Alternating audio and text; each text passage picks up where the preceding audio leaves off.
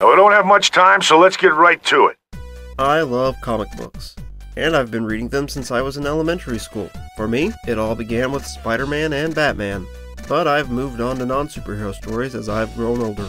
I believe comics to be the greatest form of the art of storytelling because of their merging of writing, artwork, and the need for the reader to still use their imagination.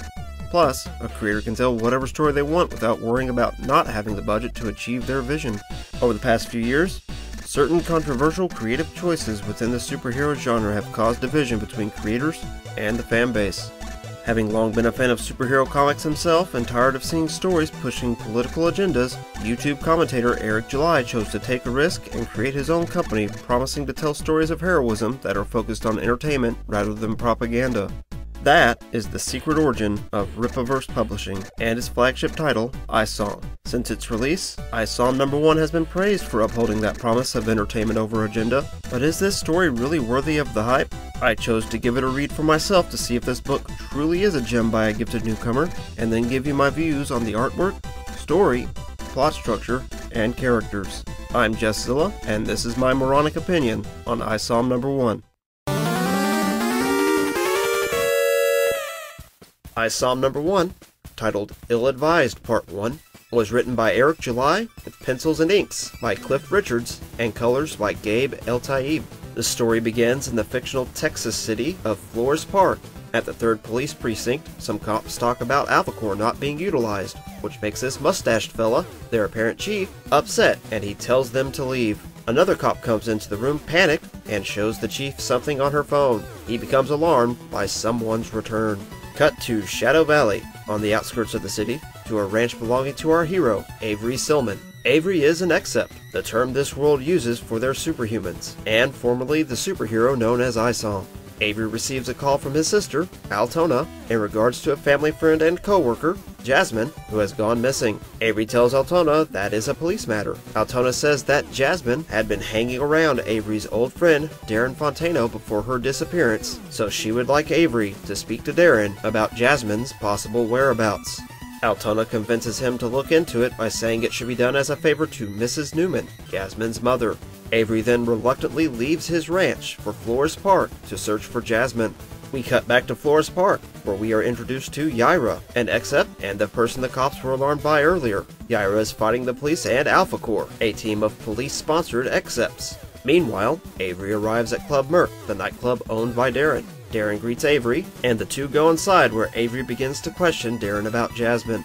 Darren derails the conversation by speaking of the differences between the two of them. He brags about the empire he has built through means that aren't necessarily legal, and makes an implication that he is also running a prostitution ring. He tells Avery not to worry about Jasmine, and orders his security to escort Avery out because his poking around has frustrated Darren. Avery fights a security guard and goes to confront Darren. A full brawl between Avery and Darren's security begins.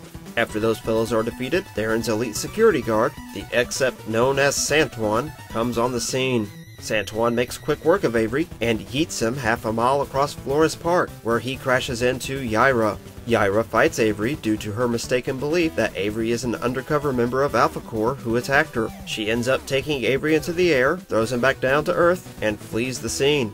Avery lands on top of a taxi and is knocked out. Cut to dusk back at Silman Ranch, where Sam, a ranch hand, speaks with a customer about the business and Avery's ambition. Sam then talks to another employee about how he likes his work ethic and says something to him akin to, One day, lad, all this will be yours. That night in Flores Park, we learn Alpha Corps delivered Avery to the hospital. A pair of medical professionals talk about the possibility of Avery being an Except due to his surviving the fall. They enter his room and find him gone. We meet back with Avery, who is walking through an alleyway. He meets up with Altona, who has been tracking his location through a GPS anklet. Avery tells Altona that things didn't go too well when he spoke to Darren. Altona drives Avery to the impound because Avery believes Darren may have had his truck towed there after the fight at the club. Avery parts ways with Altona and tells her that he's going to pay Darren another visit. Meanwhile, at the ranch, Sam sends the employee from the earlier scene home and receives a phone call from Avery. Avery says he'll be back home between sometime late that night and a few days. Sam sees a ranch warehouse door has been left open and goes to investigate it with his gun drawn. Later that night, Avery, in his recovered truck, plans on how to approach the club. Vladimir Putin approaches Avery and makes an implication that Club Merc is very shady. Cut to inside the club, where a mysterious except couple discuss the club glowers and the possibility of buying the place. We then return to Avery, who is making his move into the club. Avery runs into Jasmine near the rear entrance of the club. The two of them are approached by club security, who tell Avery he has to leave. One of the security guards places his hand on Avery to escort him away. Avery then fights the guards and defeats a third guard before demanding from a fourth guard that Darren be brought to him. The guard refuses, and Avery breaks into the club and does his best. Any man don't want to get killed. Better clear on out the back. And once again demands Darren's presence. More guards show up, and Avery quickly defeats them before Santuan reappears. Avery and Santuan step out into an alleyway for a rematch. Santuan attacks, but Avery shows he has a new ability that allows him to easily avoid being hit. The two of them fight, and Avery defeats Santuan when Avery smashes Santuan through a wall. The police arrive, and Avery flees to prevent himself from being taken into custody. Avery heads for Altona's house. Avery informs Altona that he had to flee from the cops and that he saw Jasmine. The two of them then discuss a plan for what to do moving forward before they are interrupted by Vassie, Altona's daughter. Avery tucks Vassie into bed, and she mentions that she thinks he's a superhuman because Avery seems so strong, something he quickly deflects. Altona shows Avery some footage of Jasmine the last time she was at work. Jasmine took a phone call and then seemed afraid of something. Altona speculates that maybe Jasmine owes Darren a debt, to which Avery responds that he does not care about Jasmine anymore and he is concerned for Altona and Vassie's safety. Meanwhile, at Club Merc, Darren monologues about how his empire is still a work in progress and how he'll keep a hold of it by any means before implying that he has put a hit out on Avery. The next morning, Avery meets with a man who turns out to be a superhero tailor. Avery requests his old supersuit and becomes Isom once again. In an epilogue, we learn of Norfrika, a rock band whose members are accepts. I'm going to begin with the art. Cliff Richard's art style doesn't seem to stand out as anything unique to me. It just comes across as bland. I've seen better, and I've seen far, far worse. I noticed on more than a few occasions where his characters look the same as other characters. At first, I thought these two people in the club were the same as these two members of Alpha Corps. That is, until I took a moment to flip back and saw that they had different hairstyles from one another. Is this character supposed to be Jasmine? They are both drawn in a similar manner and they have similar hair, but their earrings are different. I wouldn't be against picking up another comic that Richards did the art on, just as long as the story was good, but I'm not going to go out of my way to get something just because he did the art for it. Now on to the story. There's an old stereotype about comic books being a poorly done form of exploitive entertainment that are not meant to be taken seriously. When it comes to ISOM, that statement is a lie, because there is nothing entertaining about this comic. Reading this didn't feel fun, it felt like a chore. My favorite part was when I reached the back cover. It definitely shows that this is by someone who has no prior experience writing a story and probably didn't take the time to read up on the basics of how to form a plot and create characters. When I finished reading this for the first time, my initial thought was, It's miraculous. I feel nothing. Nothing at all. I don't feel invested in ISOM as a story or invested in any of these characters. This book does not feel like a story, it just feels like a sequence of events that simply occur and we are forced to observe them.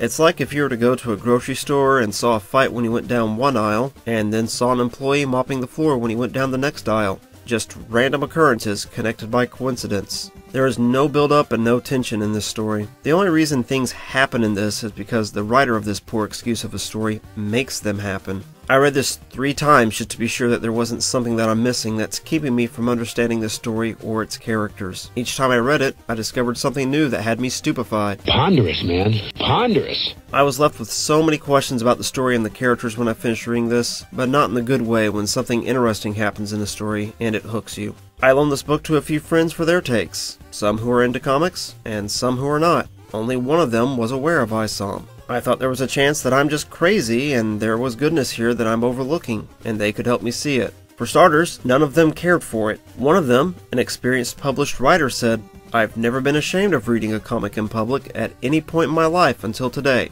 I was worried someone would ask me what it was about and I wouldn't know how to describe it to them. My friends had all the same questions I was left with after reading iSOM. We didn't know what an Except was until the part in the hospital made it sound like they were superhumans, but the exact definition is still vague after this scene. We thought we missed something when Yaira and Alpha Core showed up because their introductions are set up as if we are already supposed to know who these characters are and that we should feel excited to see them. One of my friends stated that she remembered Alpha Core being mentioned and wondering what it was. She felt like she missed dialogue saying who they were before they showed up, and said that Alpha Core not being referred to in a negative manner earlier in the story was the only thing that kept her from thinking that they were supervillains when they did appear. Based on the design of their uniforms and how they seem menacing on this half page splash, I have to agree with her. Alpha Core is even shown fighting iSOM on cover C, which is the edition I have. The only point of reference in the story we have to Alpha Core being good guys is when it is mentioned that they took Avery to the hospital after his fight with Yaira. Who are these people at the club? I understand that they are supposed to be mysterious, but the way they are written makes me feel like we're already supposed to know who they are. Which is it? My friends were all shocked that this is the first story in what is meant to be an extended universe. The reason both myself and my friends were left with so many questions was because it felt like we were missing key pieces of information that made us confused and frustrated about what we were reading. If this is how someone going in blind to this story feels, then how can Eric July expect to build an audience outside of his pre-established fanbase? How July went about this story is not mysterious. It's just him being a poor writer. There's a difference between a writer showing the audience everything up front and holding our hands, and a writer leaving the audience a breadcrumb hint here or there for us to follow. These hints give us a better understanding of the narrative while keeping the story mysterious in an interesting way and creating excitement for what the narrative is building to. Or a writer can just keep vital information from the audience, hoping we can read their mind, which causes a story to be more confusing than it needs to be. Which is exactly how this seems to be handled. There are plenty of times where a writer should be upfront with their audience, especially when they are setting something up for a payoff later. The only time that really happens in this story is with Yaira. We get the teaser of she's back in the opening scene, and then we get the reveal later of who she is. As for the lack of setup and payoff, I'll start with the opening. On page 1, change this right here from this to this. This message is clear and informs us that Alpha Core is police affiliated. Later, when Yaira is fighting the cops and Alpha Core shows up, we see who they are superhuman cops. The payoff. This is a much easier way to understand who these characters are rather than waiting several more pages after they first appear for Yaira to clarify who Alpha Core is supposed to be. Now moving on to Santuan. He first appears on story page 19, and we don't even learn his name until story page 63. If Santuan is supposed to be an important character, then why couldn't there have been a brief setup for him before he appears? It could have been easy. When Avery arrives at the club, there could have been a scene of Darren being told by someone off panel that there's some guy outside demanding an audience with him, and if this mystery character should go out and take care of it. Darren could check a security monitor, see that it's Avery, and say, No, Santuan, I go way back with this guy. I'll see what he wants, but stay close and out of sight. We'd be left with the mystery of who this Santuan guy is, and then we get the payoff when we first see him. There is no setup for the second fight with Santuan. Avery goes back to the club to confront Darren, and Santuan just kinda shows up again to fight him. There was no build up or tension leading to what we believe to be their second encounter. It's just something coincidental that happens. Something as simple as Avery saying that he wants a rematch where he won't hold back against Santuan would have worked to set this moment up. There's no setup as to why Avery wants his old super suit back and why he would become Isom again. They're just things he ends up doing with no clear purpose. When the term Except was first used, I thought it was some real world slang term that I just hadn't heard before. 32 story pages into this issue, we are given a possible idea of what an Except is. This exposition should have happened on page 2 during the news broadcast. Whoever this person is on the TV could have said something like, I'd like to thank the local superhumans, known as Excepts, for their aid in reducing the crime rate. If you pay attention to the news, it always clarifies what the subject of a story is and what something that's important to the news story is, even if that thing has become common knowledge. For example, 9 11 is always referred to in the news as the terrorist attacks that took place on September 11, 2001. This is done in the off chance that there is someone out there who has no idea what happened on that day. This same method should be used in telling a fictional story if a writer wants their audience to easily understand what is going on. There's this part here during the first fight between Avery and Santuan. I just took Santuan's use of you as a generalization, as in people like you who are troublemakers. Then during the second fight we see between the two of them, Santuan mentions to Avery it is the third time the two of them have duked it out and how there will not be a fourth fight. When I saw this, I thought, wait, is my copy missing a few pages, or did I accidentally skip some of them? Or do these two have history prior to this story? Avery acknowledged that Santuan is an except when he showed up for the first time, but I just figured that Avery came to that conclusion due to the far larger than average size of Santuan when he first appeared, rather than the two of them having some undisclosed past. If they do have history, then why couldn't this have been established clearly when they first interacted? Once again, this is something that could have easily been done, and here's yet another fix to make the story more understandable. How I've presented this review up until now has been with the information I had the first two times reading this story. I started on a third reading as I began writing the script for this review, and I finally read a page that I had previously ignored. Dokumon cards. Who is Dokumon, and what's on the cards? A mysterious person by the name of Dokumon has been keeping up with notable subjects. They have cards with some important information about high profile subjects. The cards won't be around forever, so get them while you can if you want to learn more information about characters in the Rippaverse. Important information. Wait, what? I decided to go hunting. After a bit of searching, I found some very useful information. First, I found the reveal trailer for ISOM number 1, and after seeing it, I learned that the term Except is clearly defined in it as a superhuman, something that the story fails to do. I also learned that the story takes place in Texas, that my original pronunciation of this character's name as Yara was incorrect, and what Darren's last name is. Then, after a bit more digging around, I found a post where someone had put the information from the Dokumon cards online. Most of the information on these cards is just basic background info on the characters that could be enough to generate interest in them if the cards didn't feel so blandly written. Darren's card gives us a good reason why Altona couldn't call the cops in regards to Jasmine going missing and Darren being a possible lead to her location. To sum it up, Darren is one of the most respected men in Flores Park. Despite being shady, he is seen in a positive light, and it is implied that he might be paying off the cops. The cards also gave me the identity of the club couple. Their names are Michael Copper and Lillian Monashi. Michael seems to be a successful businessman, and Lillian seems to be his business partner who hasn't been so lucky. So what I want to know is, if some of this info is so vital to understanding the story, then why isn't any of it in the story?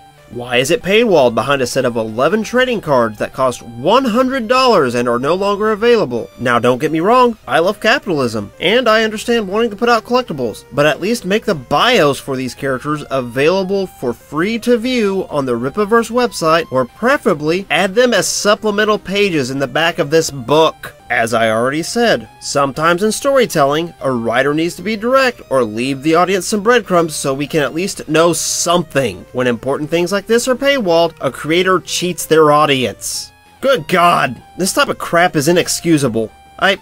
I need a bit to cool down.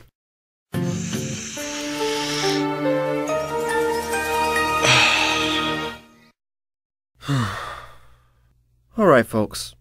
I'm better now. We can continue on. There could have been an easy setup for Copper and Ronashi within this story.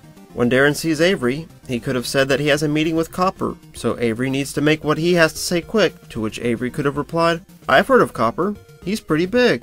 After Avery's first fight in the club, Copper shows up and Darren apologizes to him for the mess, saying a troublemaker had shown up, but the situation was taken care of. Then we could get the scene later that night of Copper and Ronashi talking about buying the club. Once again, set up and payoff. Additional information I found about other characters came from a Reddit page that gave info that is otherwise only available in another piece of now unavailable material. It gave me the name of the tailor, which is Cedric Gaucho. This just would have been nice to know. A simple line when Avery approaches him could have been used to tell us who this new character is. This mustached fella from the start of the book is named Sergeant Mick Davies, and it seems he'll be given more focus in the future. The information on these characters is found in the limited edition concept art book that is only 14 pages long and had a cost of 75 bucks. Jeez. All of this just makes me theorize that I had to already be in the know about things in the story when I came to it. There's so much in this story that is irrelevant and can be deleted to speed up the pace without affecting the main plot. The opening scene can be removed. Part of Avery's dialogue to Sam the ranch hand when we first see him can be deleted because it's not important. The pages with Yaira and Alpha Core can be cut because they go nowhere. The scenes that take place on the ranch when Avery is in Flores Park can be axed, partly because nothing happens and the third ranch scene mostly repeats information we were given on a previous page. The scene with Putin can be deleted because the scene implies that Club Merc is shady, which is info that should kinda be obvious after Darren's I'm the bad guy speech. This scene with Copper and Ronashi doesn't progress the story, so it's gone. The scene with Avery, Jasmine, and the two bouncers can be cut.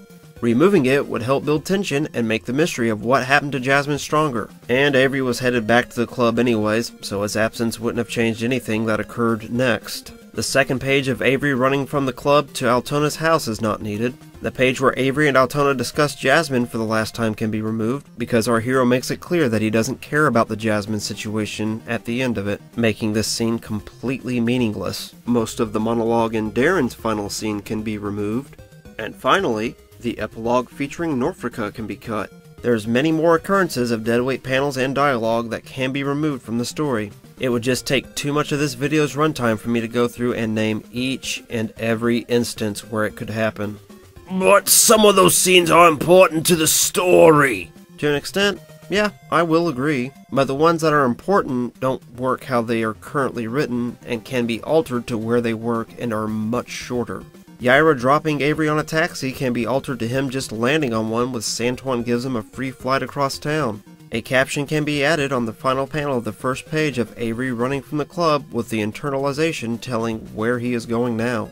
The scene of Avery and Altona talking about Jasmine being seen at work for the last time can stay, if Avery saying that he doesn't care about that situation anymore is removed. And finally, this scene with Darren. Remove most of this speech and replace it with this, which gets the same point across much faster. I also believe that the two club scenes could be merged together into a single scene. Avery could still lose to Santuan, and it would lead to the story having a decent climax. But more on that idea in a bit. All the issues I've mentioned so far with the story made me feel like July neglected to hire a story editor, and I saw while researching that he doesn't appear to have one on his staff. The point of a story editor is to give creative feedback to a writer, telling them what parts of a story work, how to improve the parts that don't work, and to make sure the story adheres to its own continuity. Every major TV show, movie, and book has had a story editor attached to it. For this next part, I'm going to get into the plot structure. This book is 94 pages long and has 83 pages of story. The average monthly comic book is 32 pages with 22 pages of story. Doing the math, ISOM number 1 is a single page off from being the same length in story as four monthly single comic book issues. The average length of a story arc for monthly release titles tend to be between 4 to 6 issues, a range that this fits in.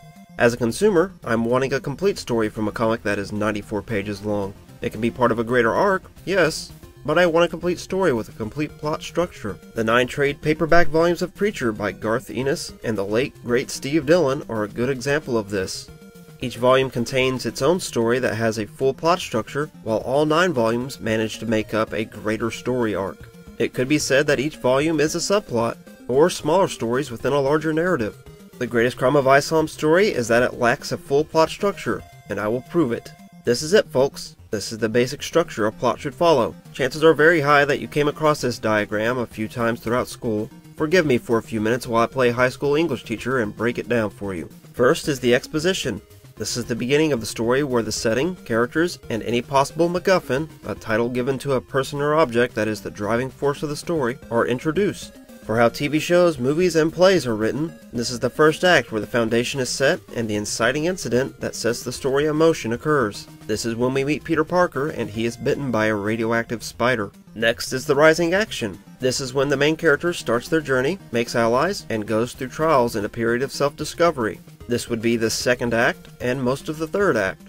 This is the part of the story where the bad things happen and the characters start to struggle. This is when Admiral Kirk assumes command of the Enterprise and the ship sets out to intercept V'ger. After that is the climax. This is the most important part and what the whole story has been building to. This is where the outcome is decided. My high school theater teacher was the one who described this best. He said, This is the story's point of no return. After this moment, everything changes and things cannot go back to how they were before. This is the moment where the events around the characters and who the characters are as people are irreversibly changed by either a choice they make or from an external event that occurs to them. This is the Iron Man snap. Other examples include Michael Corleone has the heads of the five families killed, damning himself to be a monster. Ash burns the Book of the Dead to defeat the evil force that killed his friends and turned his life into a nightmare. While killing Godzilla, Dr. Serizawa sacrifices himself to ensure the secrets of his doomsday weapon do not fall into the wrong hands. And finally, the Rocketeer sabotages his own jetpack so Nazi James Bond can't take it back to the Third Reich to mass produce for their use in world domination. Getting close to the ending, there is the falling action. This is the part where the story starts to wind down and we see how the characters have been affected by the climax. This is the celebration at the Rebel base after the Death Star is destroyed.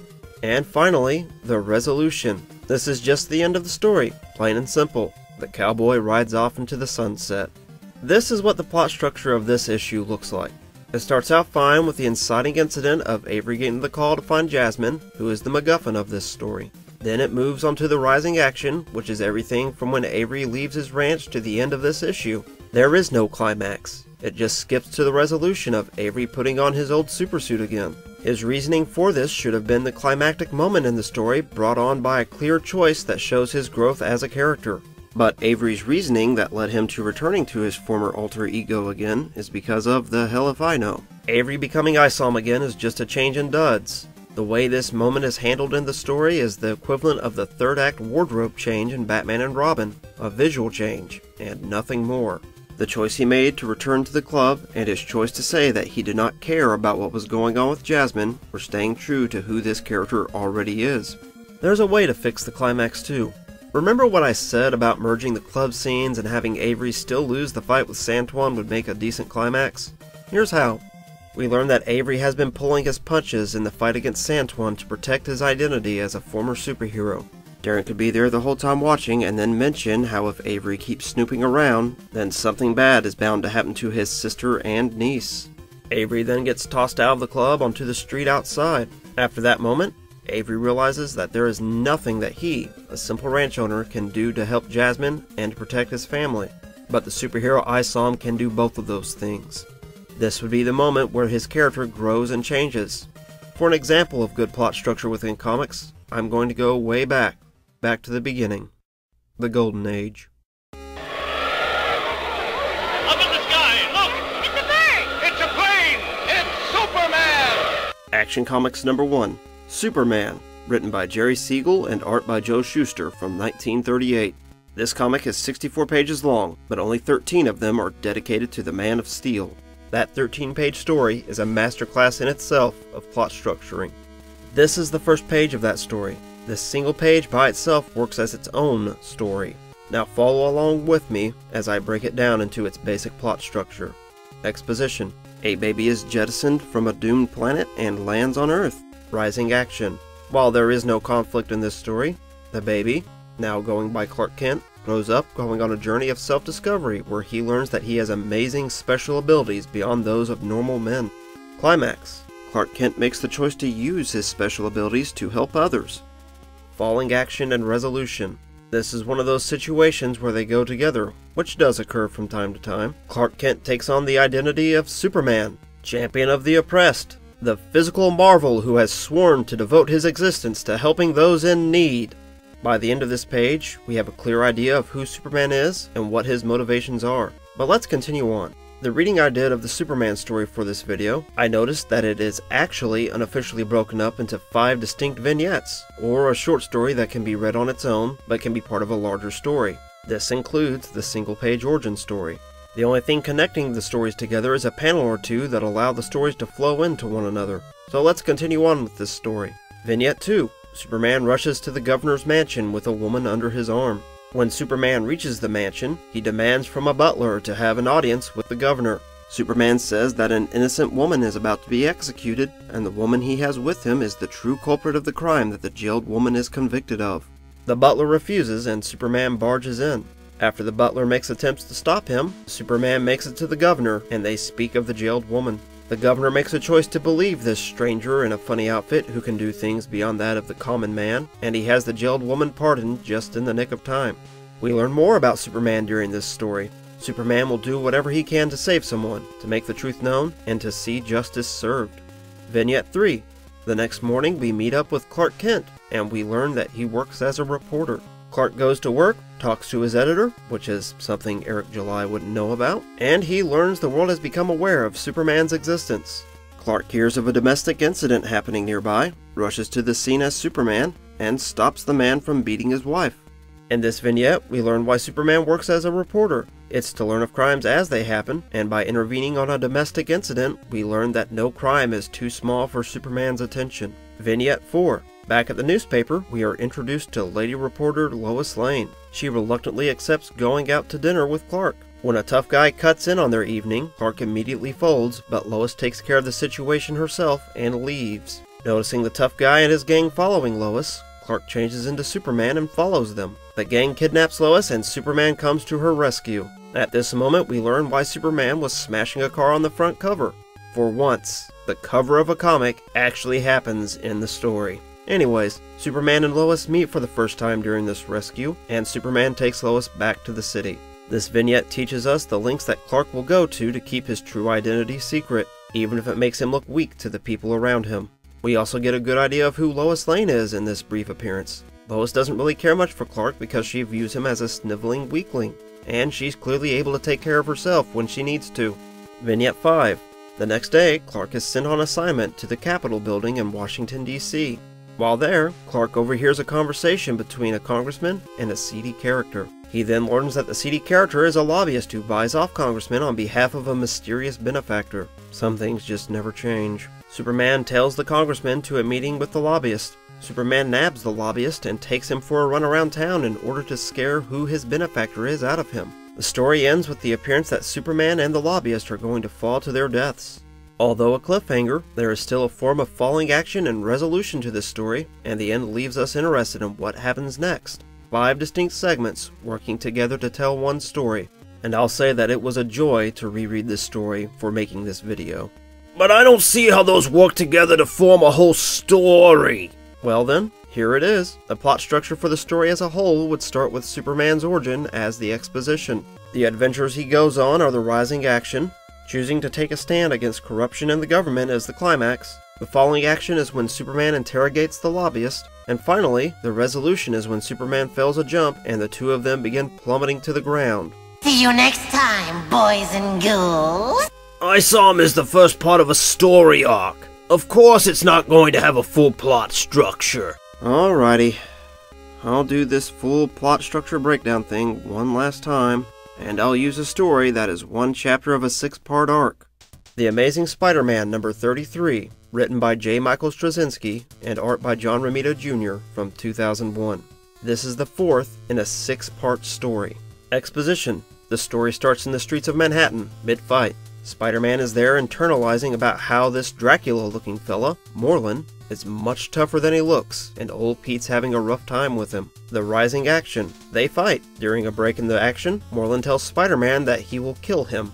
They fight some more. Spider Man gets his ass beat and makes a run for it. He takes a breather on a nearby building, but Morlun catches up to Spider Man and they both go tumbling off the roof. Spider Man escapes at the last moment as Morlun splats on the sidewalk. Morlun grabs a pedestrian and starts absorbing her life force to recharge himself. This makes it clear why Morlun wants to kill Spider-Man. It's so he can absorb Spider-Man's life force. Spider-Man saves the pedestrian before it's too late for her. Round 3. A once again vested Spidey runs yet again. Spider-Man steals some street clothes in order to go incognito as Peter Parker. Huh, Jameson is right. He is a menace. Anyway, Morlun still finds him. Morlun attacks Peter and they spill into a diner where they fight for one last time in this issue. Morlun gets thrown into a kitchen where a gas oven is busted. Climax. Seeing our favorite web swinger approaching, Morlun lights a match and I thank God every day I didn't get exploded. An injured Spider-Man realizes how screwed he really is when he sees Morlun survive the blast and is unharmed. Falling action. Beaten and exhausted, Spider-Man flees to meet with someone he believes can help him against this foe. Resolution Spider-Man meets up with that person who tells Spider-Man that there is nothing he can do to help Spider-Man against Morlun and that Peter is doomed. Doomed! See? It works. The basic plot structure is still there. We still have a single story within a greater arc. I'll tell you right now that 12 year old Jesse had no trouble at all understanding what was going on or who the main characters were. I already had a clear idea who Spider Man was as a character going into this story due to watching the animated series during the 90s. However, Morlun, a character I had never heard of before and who was created for this arc, 12 year old Jesse had a clear idea who he was supposed to be after reading this. There was still a mystery as to why Morlun was so powerful and how he was able to track Spidey so easily, but that would all be answered in the following issue. The character motivations are pretty clear. Spidey is just fighting for his own survival against a seemingly unstoppable foe. Morlun wants to absorb Spider-Man's life force to sustain himself. The moment in this that changes who Spider-Man is as a character is when he sees Morlun is alive and realizes how truly dire the situation is. It's not really much when it comes to character growth, but it's there and also a very common form of character growth for a superhero story. This is the comic book that started me reading comics on the regular as a child, and probably the single issue I have read the most times. The ending of this story left me interested in what might happen next, which led me to buy the next issue, and then the issue after that, which ends the arc. But even that issue ended on a cliffhanger with Peter's Aunt May learning who her nephew really is, and that story is picked back up on in issue number 37, which I also bought. I was hooked. Spider Man soon became my favorite superhero, and I also started following other characters and stories I was interested in when preteen and teenage me had the extra money. One of my main hobbies started all because a 12 year old boy picked up a random story and it was written in an easily understandable and intriguing manner. Now that is what good writing can accomplish. Other issues with this story lie with the characters. I'm sure Eric July has a clear idea who these people are supposed to be, but it doesn't translate to the page. None of them really feel unique, and they all read the same. One character's bad dialogue could be changed for another character's, and it wouldn't matter. Anyone could be saying anyone else's words. As for who the characters are, Altona. She is only there to give exposition. Her motive for wanting to find Jasmine is because they know each other. Them being friends is only implied and not clearly defined. Jasmine. She is this story's MacGuffin. This story starts out as a mystery about what happened to her, but that plotline is quickly dropped shortly after being introduced for reasons I'll explain later. Mrs. Newman. This unseen character is Jasmine's mother. Her name is invoked by Altona to guilt Avery into looking for Jasmine. This character is mentioned on a few occasions, and it's treated as if she is supposed to hold some great emotional weight on the characters and the audience. But the reason why we should feel this way is never expanded upon outside of us being told that she is related to Jasmine. Darren Fontano. He is an extremely one-dimensional villain. Just a case of insert mob boss here. A good writer would make the scene that introduces the villain and the first time the hero interacts with them feel as tense as possible and make it clear how high the stakes are. Eric July, however, is not one of those writers. Two pages after Darren appears in what should be an important scene, Darren starts into a monologue that turns into him practically saying, I am evil! The only thing missing from this monologue is the Baron Harkonnen laugh. When Darren appears again, his monologue on building an empire is really just him pointing at himself and saying, Now don't you forget! I am evil! Evil! Let's kill Avery. There is nothing that comes across as intriguing to me about Darren. This character does make his motivation clear, and that motivation is. Because I'm evil. Beyond that flat reasoning, I have no idea why he does what he does. There are plenty of flat villains out there. One of the most popular supervillains, the Joker, is one of them. He points at himself and declares himself a villain, but he relishes it and challenges you to stop him. The reason he works and he became so popular is because he's unpredictable and makes evil look fun. Love that Joker. Every once in a while, someone will come along and give him some added dimension, but the Joker always ends up reverting back to his flat state. When it comes to more complex villains, a good example is Magneto. As a Holocaust survivor, he has experienced the evil that man can do to those who are different. He sees the parallels with how mutant kind is being treated to what happened to him in the past. This has caused him to preemptively lash out against his perceived aggressors. While Magneto does the wrong thing, we understand his reasoning and even at times sympathize to an extent as to why he does what he does. Santuan. He is yet another one-dimensional villain. This character gave me vibes that July was trying to replicate the Barracuda, but Santuan really is just your run-of-the-mill, overly confident meathead henchman. No idea what his motivation is supposed to be. All of these characters. It felt to me like I was supposed to care about them just because they were there. Motivations unknown. Vassie. She is there in a feeble attempt to force some heart into this story and make it look as though Avery cares about his family, which seems to contradict what we have learned about him thus far. Sam. He is a ranch hand and what I call an uncharacter. An uncharacter is someone who has no purpose within the story that is given too much focus. Cedric Gaucho. He is yet another uncharacter who only talks about how his business is successful and expanding. You could have easily changed this scene out with Avery getting his supersuit back from Altona, who has been keeping it in a shoebox somewhere after Avery retired from heroics.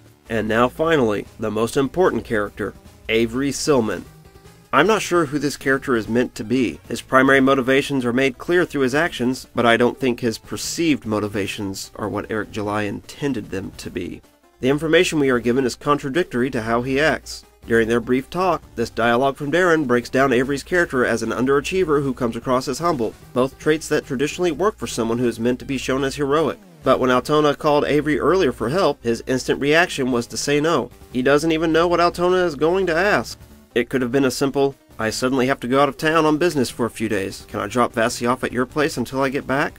Or something more serious like, I just learned I have six months to live. Please make sure my daughter is raised right. If this man's family is as important as we are later led to believe, he has a weird way of showing it. This moment, however, is in line with how he is presented for the rest of the story. How we see Avery act through this is as a stubborn, hot-headed jerk who stands for nothing.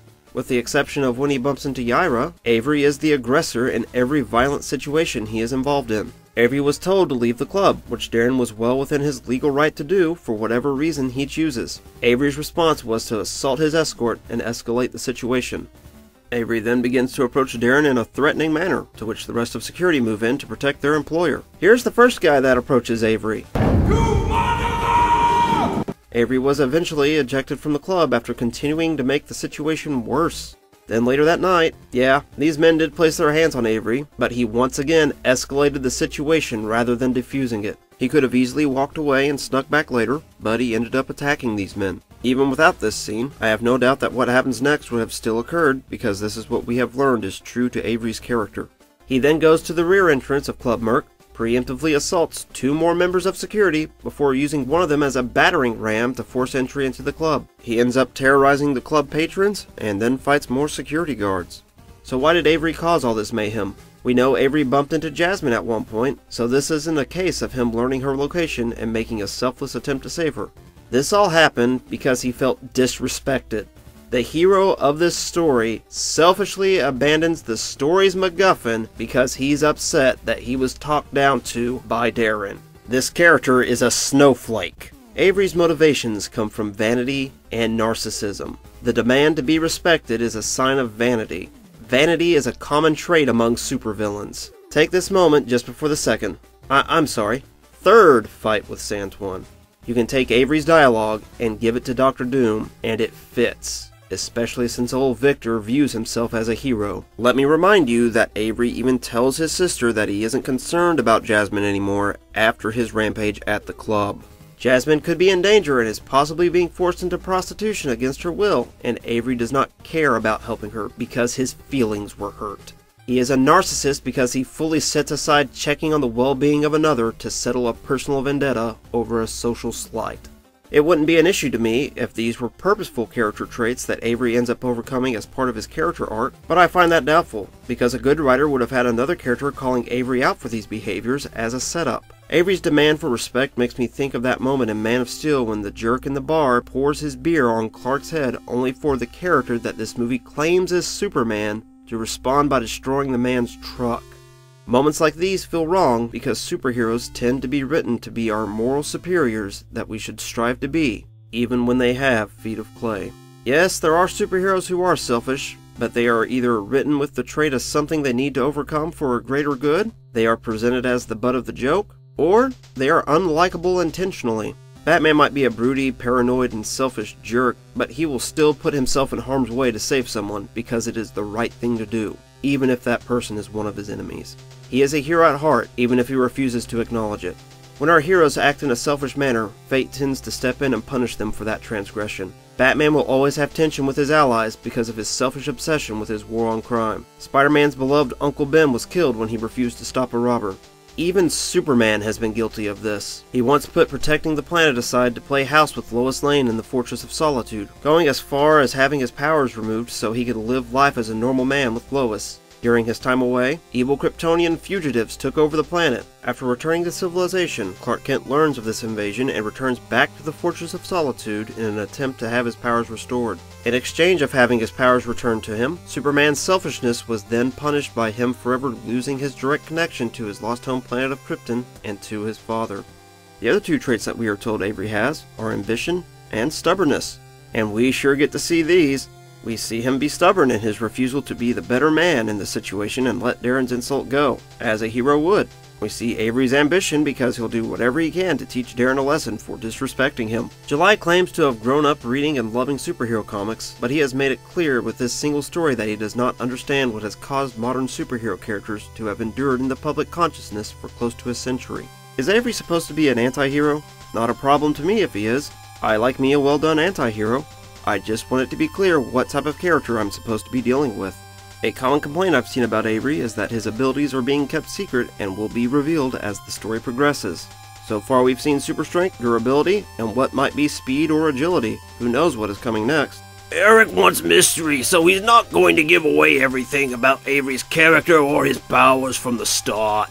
There's nothing wrong with having mystery surrounding a character, but there is a right way to do it that still gives an audience a clear understanding of the type of person the character is meant to be. My personal favorite example of this can be seen in Eric Powell's dark comedy, The Goon. By the end of the first story about the Goon, we have a basic grasp of who the character is. He's a stubborn, short tempered, and tough as nails mob enforcer. In the following issues, we learn that despite being a mobster, the goon and his sidekick Frankie will do whatever it takes to protect Lonely Street and its citizens, even if it all is in the name of protecting their favorite pub. We also see that the goon is a world weary character as we learn the tragic events of his origin. The goon was abandoned by his parents as a child and was raised by his aunt, a carnival strongwoman. Life in the carnival was rough, but the goon was a happy child. One day, the mob boss Labrazio arrived at the carnival to extort the owner into paying back a favor. Labrazio hid within the carnival to avoid a police dragnet. Learning of who this new stranger was, a curious the goon enters Labrazio's trailer one night to learn more about him. The police learn of Labrazio's location and close in to pinch him.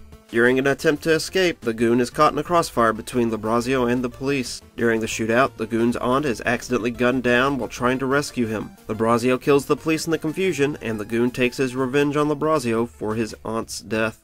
The goon then chose to abandon the life he enjoyed at the carnival due to feeling responsible and guilty for his aunt's death. Now in possession of a book of Labrazio's records, the goon traveled to the unnamed city and Lonely Street to run the dead mobster's racket under the guise of a mob enforcer, because a life of crime is all he felt worthy of after his perceived failure. What happened to the goon as a child didn't have nearly as much of an effect of molding him into the jaded and broken man he is compared to the seed that was planted at the end of the first issue. Man, that was a bad night. Gotta admit, though, it wasn't as bad as Chinatown. Boy, that was a real. Frankie, don't even bring up Chinatown. As the series continued, we would see this event referenced every so often. Chinatown, Chinatown, Chinatown. Forget it, Jake. It's Chinatown. We would even get hints about what happened, and we would see how much this event is something the Goon would rather not talk about whenever it was brought up. Then, after 25 issues, we finally got the Chinatown story as its own graphic novel. I'm not going to spoil this, but I'll say it was a story worthy of the build-up, and it is heartbreaking. This is a great example of what I've been saying about a writer leaving breadcrumb hints for an audience to follow. We get nothing like this for Avery. No possible hints that could explain why he left the heroic life behind, and what might have caused him to become a selfish jerk. As for Avery's powers, I don't really care what they might all turn out to be when fully revealed.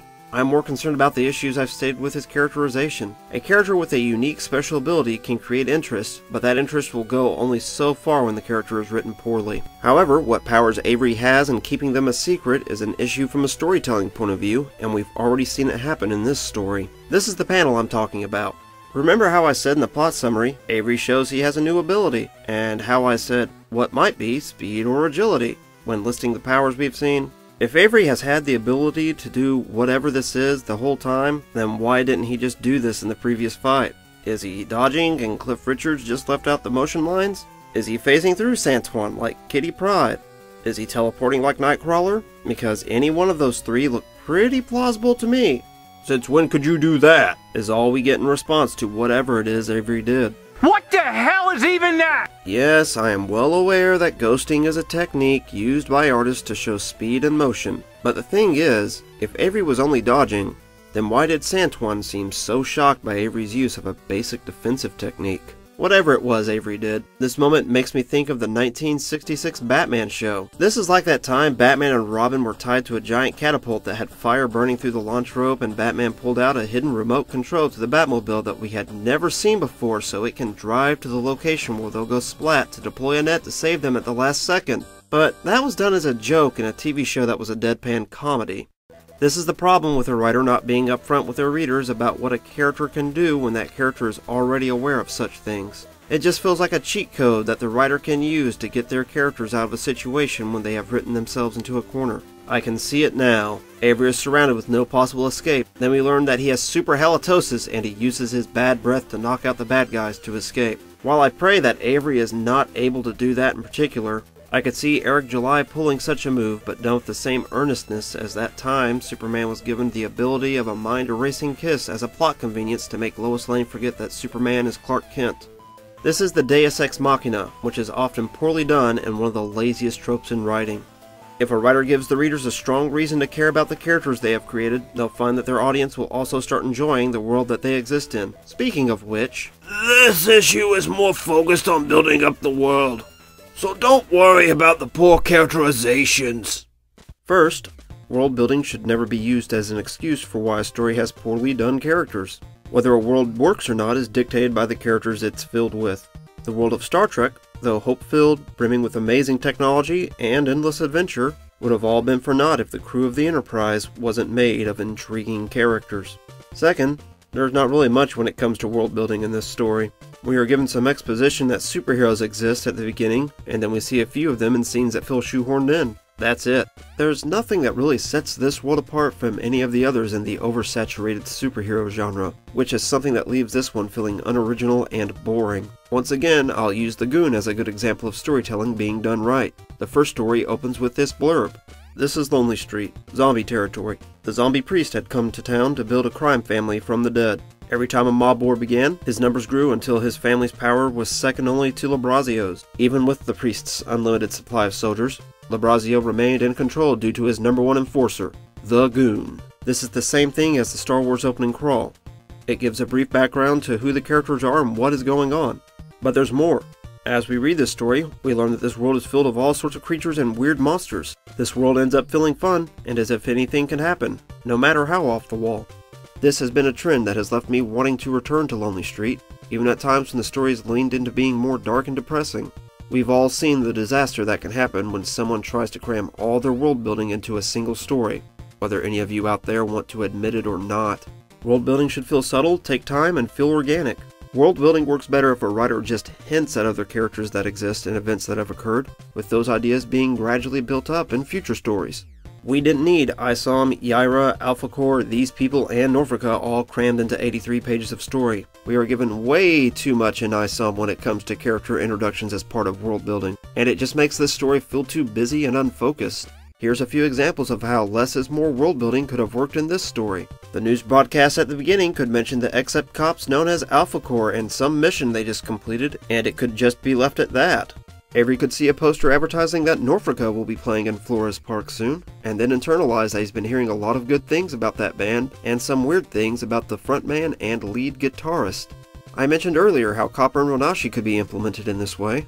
And lastly, while Avery is making his way to Darren's club at night, he could see Yaira fly across the sky with some people proclaiming that she's back, and someone else could say that her re-emergence is something that Alpha Core will not be happy to hear. This would be a better way to hint at what is to come and to make the world feel more lived in. It's also pretty basic that characters who are meant to hold some sort of great importance are given their own standalone stories before we start moving into crossovers. This is a lightning round where I'm just going to get nitpicky and laugh at the ineptitude of this story, because I couldn't find anywhere else in this video to make these bits fit. The opening splash page, this caption of, two weeks ago, is not needed. Flores Park is a terrible name for a city. It sounds more like a national forest where I'd spend a weekend camping and hiking rather than the name of a major metropolitan area. The reveal of Silman Ranch, the caption right here of earlier, can be removed. Is it earlier today or earlier than two weeks ago? If the two weeks ago on the front page is gotten rid of, then this works. Have one or the other. Don't have both. You do not reassure someone that you are going to shoot them. You warn them they will be shot. Then you reassure them that they'll get to the hospital in time before they bleed out. It should be Alpha Corps, not Alpha Core.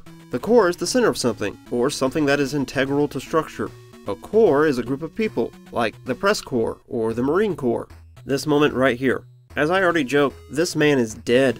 The fans of this book claim that this guy later on is the same character and his ribs were just cracked. I honestly think this is a retcon attempt. Look at the blood! Then we see him laying in a pool of it on the ground in the next panel, like he's trying to hold his guts in. He was a hair away from looking like he got in a fight with Lloyd Christmas during a daydream, and he's back at work later that night with those large dreads and a teeny tiny bun. Even if this dude's ribs were only cracked by Avery's assault, when you crack your ribs, you're not going to want to do anything the rest of the day. I'm sure there'll be another retcon saying that this guy was an Except. Personally, I think it's just another case of characters drawn by Cliff Richards having similar looks to one another. What does this mean? Is it implying that Avery trained himself into having superpowers? Is that how it works in this world? This bit reminds me of a guy I went to college with who told me of an idea he had that I wish I could understand how it made sense to him. The idea was a story where the Teenage Mutant Ninja Turtles were turned into humans by the Shredder, and then they trained themselves back into being turtles. As if their ninja training is what makes them mutant turtles. If a publisher wants to put an ad in their comic, that's fine by me. However, with the price people are paying for this book, it shouldn't be placed in the middle of the story. This should have been put at the very end, even past the Yaira teaser and Eric July shilling his band. The second ranch scene. Why is Sam already planning to have Avery, his boss, replaced? Avery has only been gone for a few hours. This is a tired joke. I saw it coming as soon as Avery was shown in a hospital gown. The only thing that surprised me is that it took so long to happen. Back to the second ranch scene real quick. It's the lighter side of dusk. The next scene, Flores Park, the tail end of dusk, almost night. No problems there, but then the next page, back on the ranch. It is once again the lighter side of dusk.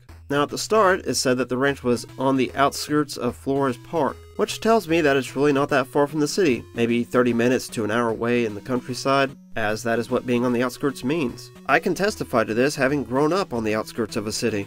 Even if the ranch is to the west of Flores Park, it should be nearly as dark at the ranch as what it is in the city. This moment wins the book the Plan 9 from Outer Space Continuity Award. Avery says in this scene that he's been in his truck planning how to approach the club for hours. When he arrives at the club, he says he doesn't have a plan and he's going to improvise what he's going to do. Then what was the point of having him say that he had spent hours coming up with a plan? This tells me that Avery is an idiot on top of being a selfish narcissist. We have this fella right here who Avery smashes headfirst on the concrete sidewalk. He too has joined the choir invisible like his dreadlock buddy, or has at least been left with severe brain damage. Just look at him there, bleeding all over the sidewalk with his pal. And remember, their only crime was doing their jobs and keeping undesirables away from the club and its employees. This right here. Nice looking splash page, right? This is the first panel on the next page. Why is the midair clash between Avery and Santuan leading up to this moment not shown? Yes, we all know what happened, but this is an action sequence, so show the action. This is poor visual storytelling. The clash should have at least been its own half-page splash. Why does Avery get upset that the cops were trying to arrest him after his last fight with Santuan? They just saw Avery smash Santuan through a wall and then stand over him saying that he will kill Santuan if he gets back up. If I were a police officer, it would kind of seem obvious to me who the aggressor is in that situation. Darren is flagging the woman, who may or may not be Jasmine, with his gun. This is a grievous violation of basic gun safety. Eric July is an admitted gun owner, and he knows better. When Avery begins talking to Cedric the tailor, we have this part right here. Okay, a tease. That's cool. Some setup for something. Then on the next panel, we are told how Cedric knows who Avery is, making the tease that just happened completely pointless. Superheroes having tailors is nothing new, but Cedric ends up saying the same thing as Edna from The Incredibles about being dissatisfied with his previous work. This page here, its current placement interrupts the flow of the epilogue. It should either be here, or preferably here, after this epilogue. This is the incorrect word. This is Calvary, also known as Golgotha, the Mount of. This here is the cavalry, which is what Eric July was trying to say. This right here, this is the biggest joke of all. Rules like these tend to be broken, and if you ask me, they limit creativity as well. I felt like Isom number one was a first draft, but surely that couldn't have been true. If what I've heard is correct, Eric July is a first time writer, and most stories from first timers tend to be garbage even with multiple drafts. There have been so many comics I have read over the years I felt had some good concepts but were overall mediocre and in need of another draft. I can imagine the tight deadlines and any possible workload on other titles probably cause a writer to be unable to do more than a draft or two of a story. Comic publishers having such deadlines probably play a big part in why a lot of comics turn out feeling mediocre at best, and why we will see an actually talented writer quickly rise to getting the bigger named titles. In other words, the cream will rise to the top, oh yeah. I'm no authority on the matter, and I'm just guessing about all this. But I would be very interested in learning the truth if anyone working in the industry happens to be watching this and dropped a comment on it. But getting back on track, I'd still rather read one of those mediocre comics than Isom. Then I got on Twitter one day while taking a break from writing this script and learned how many drafts this story actually went through. When you wrote ISOM 1, how many rewrites, if any, did you go through, and at what point did you know, okay, this is the one? Full rewrites? None. Slide edits? Several. One thing you learn in music that crosses over is abandoning trying to be perfect. Something is fundamentally wrong if you have to go back tweaking every story thing afterwards. At some point, there's diminishing returns and overproduction. I was left with this feeling of being shocked that he admitted that, and, to me at least, seemed proud of it. And I also felt not at all surprised that what I speculated was true. Starting in elementary school, it was made clear that any major writing project, whether an essay or fiction, should be drafted at least twice and peer reviewed between drafts. Handing in the first draft of an essay was always part of the English grade in both primary school and my time in college. It was then followed by a session of editing and revising. The point I am just trying to get across here is that drafting is a basic fundamental of writing. If what I understand is correct, ISOM number 1 was already being printed when pre-orders opened. That means Eric July had plenty of time to write multiple drafts of the story. It's not as though he's working for some big company with strict deadlines that need to be adhered to.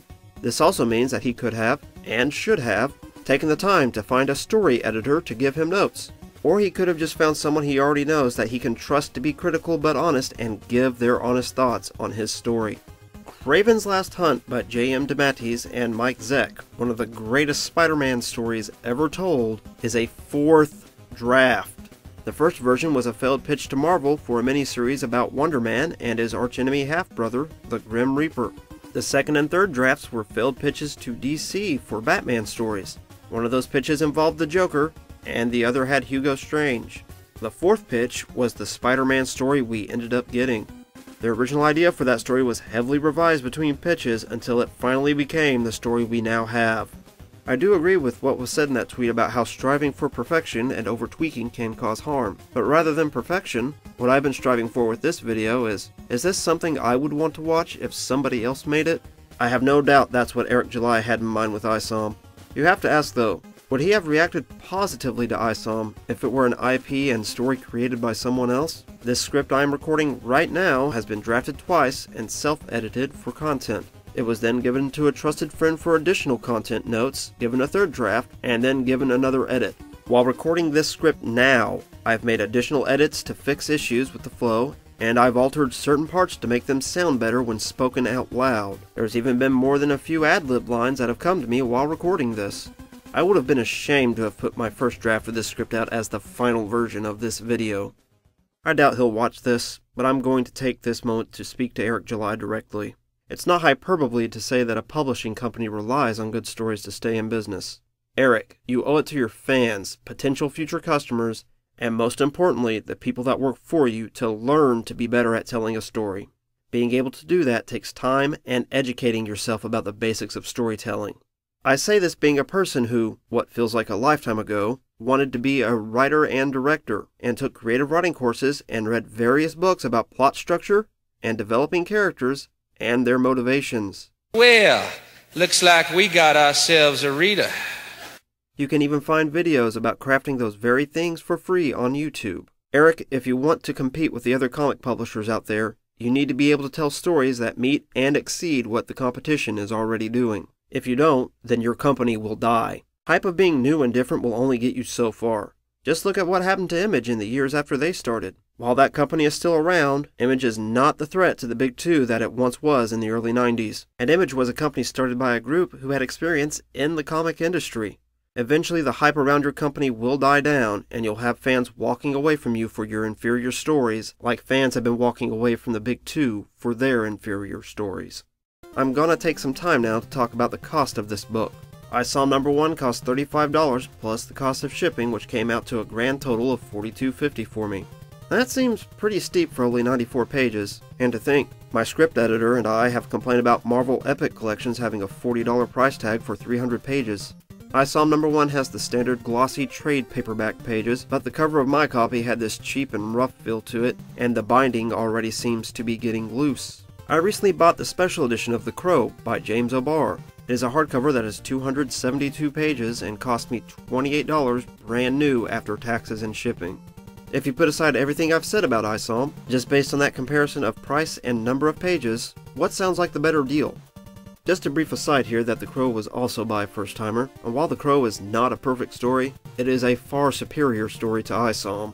I know Isom number 1 was printed right here in the US of A, which definitely plays a role in the high cost, and Eric July is running a small business with people to pay. But the low quality of the story itself does not make it worth the price of entry. I'd feel less guilty about the money I spent on Isom if there would have been an option to buy a 10 or $15 PDF copy. If this story were better, I would have felt like it was more worth paying the price to support a small business providing something manufactured right here at home. Once again, if July really wants to be a competing force within the comic industry, he needs to have pricing that is competitive along with an intriguing story. July will always have extremely loyal people who will buy his books no matter what, but eventually, the high cost of an inferior product will drive a lot of people away. All my negative criticisms aside, I do find it admirable that someone formed their own publishing company and successfully released a comic. According to an article on the Rippaverse website published January 16, 2023, Isom number 1 had raised 3.7 million bucks and shipped over 60,000 copies by that point.